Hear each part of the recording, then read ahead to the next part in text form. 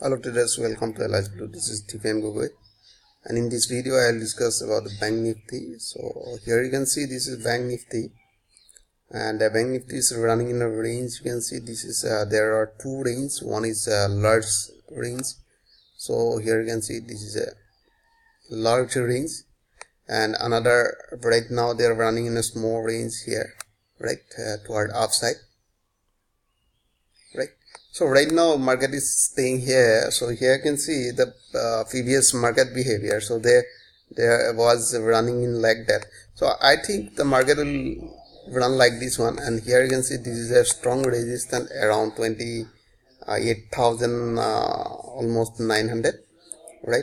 Uh, this is a resistance line. So i think from this area they will give a retracement from that area but if you see in small time frame like uh, 15 minute and uh, you can see uh, like uh, 4 hour or 1 hour all are running like that similarly and all market are running uh, in moving average 200 so here if you see in a 15 minute the price is uh, bouncing from the 20 moving average right?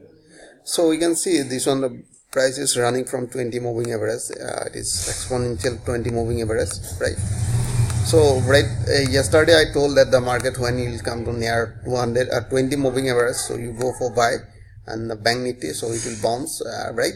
So right now you can see uh, if you want to trade and you just trade when the price comes near closer near 20 moving average so go for buy and keep your SL just below this previous lower point right?